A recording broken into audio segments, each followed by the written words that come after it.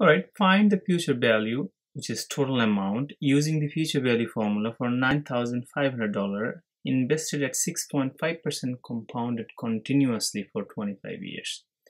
So since it is compounded, we can come up with this formula right away. So A is equal to principal open parentheses 1 plus R over N to the power N times T this is the compounded formula. Remember this is compounded periodically. The problem is is continuously. So we cannot use this formula anymore because we don't have any n. So okay so what we are given? So we are given the principal we're given the rate we're given the year. Everything is given actually. So well we can actually look into here. By the way this is the principal this is the rate and this is the year and obviously this is continuous. So it's exponential actually. So we can just plug this in here.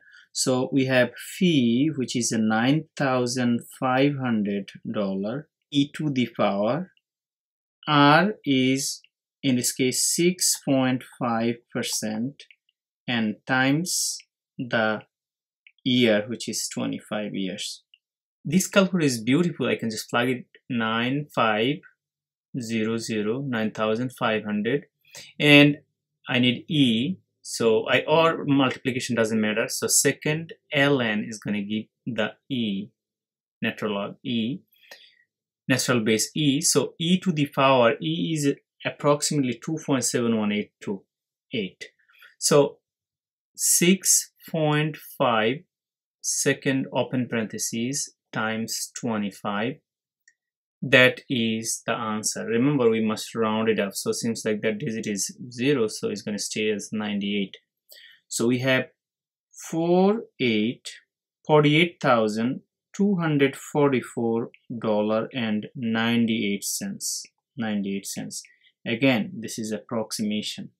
Approximately future value is going to be after 25 years that 9500 will grow $48,244.98.